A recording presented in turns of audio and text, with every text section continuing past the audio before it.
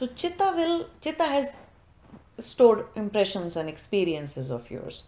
Chitta will function less if all your identities are shed because chitta is storing impressions and uh, everything information everything about those identities. So those identities needs to be given up in order to have less reactional chitta so chitta to have less control over you.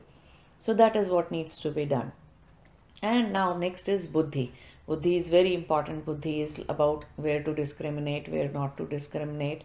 So all these four functions, when we say manonasha, we are not saying we are trying to kill all these four things.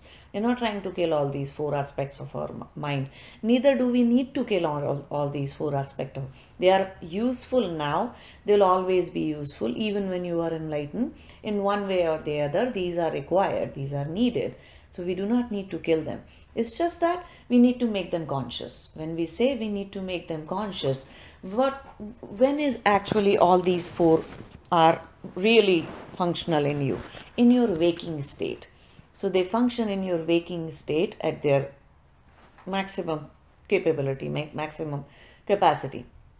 So, when you are awake, all your manas, buddhi, aham, chitta, or four, four are functional. At that time, you need to ex- exercise some control over it. Manas needs to be controlled by having less sensory inputs. Buddhi needs to be controlled by seeing where to apply buddhi or intellect, where to divide, where to separate, and where we should not divide, where we should not separate. So, we need to see that.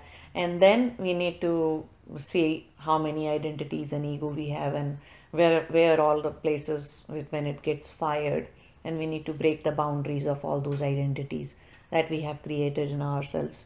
And next is chitta. Chitta we once we control sensory input and our identities are uh, less rigid then there will be less control that chitta will have over us i like this i like that. We need to stop doing that.